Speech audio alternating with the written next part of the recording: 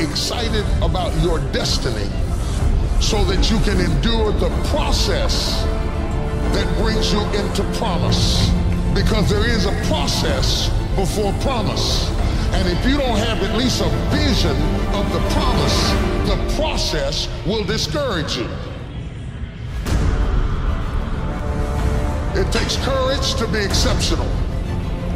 It takes courage to be wise. It takes courage to be rich. It takes courage to be educated. It takes courage to be knowledgeable. It takes courage. And I'm just wondering, in this weak, watered down, mediocre society that we live in today,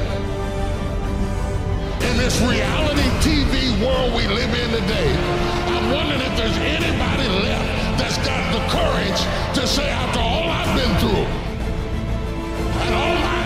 have been through, and all my parents have been through, I didn't come through all of that just to fit in with normalcy.